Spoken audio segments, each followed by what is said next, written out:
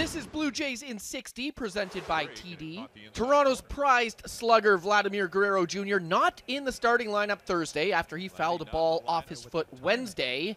Sox and Jays closing out a series. Bottom three, Alejandro Kirk singles with two on and two out. Run scores, and here's your stat of the day 39 straight plate appearances without a strikeout for Kirk, the longest streak in MLB. 1 0 Jays. Meanwhile, Toronto has won each of Alek Manoah's last 11 starts, and he's cruising in the fifth. Bobby Dalbec chases the high fastball. Next batter, Travis Shaw goes down swinging too as Manoah with seven Ks through five. Top six. Christian Vazquez gets a hold of this Manoah offering.